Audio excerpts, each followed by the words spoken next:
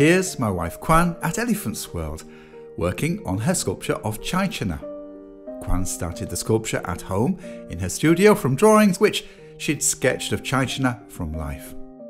Khwan now needed to be up close to Chaichana to add the finishing details. I have a piano stored at Elephants World and we take it out from time to time to play for the elephants. Mm-hmm. Emily loves playing piano outdoors too, along with the music of the wind, birds, and mm-hmm. crickets.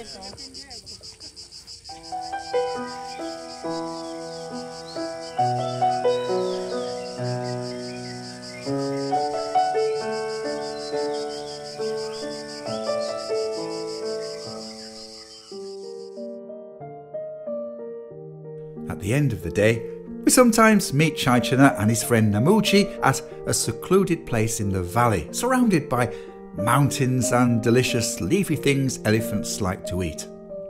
Khwan knows what their favourite secret treat is, too.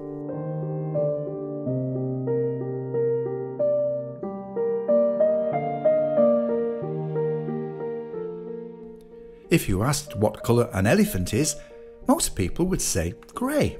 But actually, Thai elephants have brownish skin and Chaichana has a distinctive freckled pigmentation, especially on the tips of his ears, his forehead and trunk.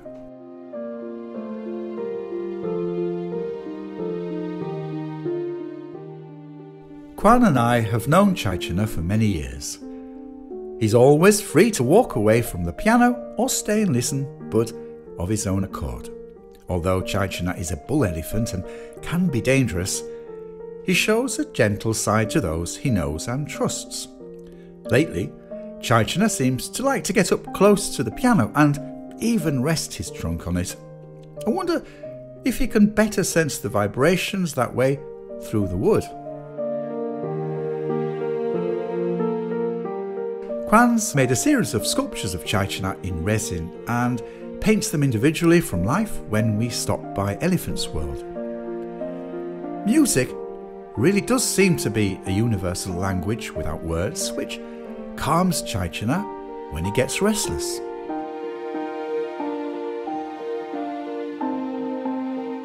If you love elephants, maybe you can speak to them through music to let them know they're loved. To me, it seems worth a try.